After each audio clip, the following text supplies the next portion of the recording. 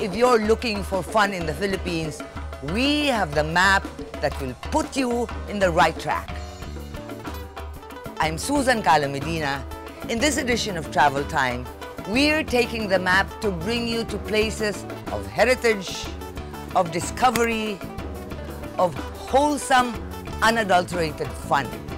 Indeed, it's more family fun in the Philippines.